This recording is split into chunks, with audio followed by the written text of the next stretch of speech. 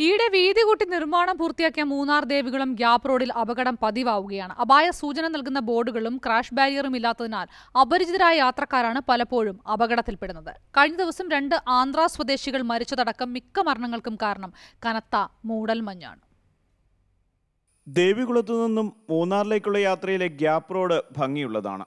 പക്ഷേ കനത്ത മൂടൽമഞ്ഞുള്ളതിനാൽ അപകടം എപ്പോഴും ഉണ്ടാകാം. നേരത്തെ വലിയ ഗതാഗതക്കുരുക്ക് നേരിട്ട ഭാഗമാണിത്. അത് പരിഹരിക്കാൻ കോടികൾ ചെലവിട്ടാണ് റോഡിന്റെ വീതി കൂട്ടിയത്. പണി കഴിഞ്ഞ് ഗതാഗതത്തിനായി തുറന്നു കൊടുത്തെങ്കിലും റിഫ്ലക്ടറുകളോ ദിശാബോർഡുകളോ സ്ഥാപിച്ചില്ല. ഇതിലെ യാത്ര ചെയ്യുന്ന വിനോദസഞ്ചാരികളാണ് ഇതുമൂലം ബുദ്ധിമുട്ടുന്നത്. കഴിഞ്ഞ ദിവസം എട്ട് മാസം പ്രായമുള്ള കുഞ്ഞിന്റെയും അച്ഛന്റെയും ജീവൻ നഷ്ടപ്പെട്ടതും മതിയായ സുരക്ഷാ സംവിധാനങ്ങൾ റോഡിലില്ലാത്തതുകൊണ്ടാണ് മഞ്ഞിൽ റോഡ് തിരിച്ചറിയാൻ സംവിധാനമില്ലാത്തത് അപകടത്തിനിടയാക്കിയെന്നാണ് പോലീസിന്റെ ഈ നിഗമനം.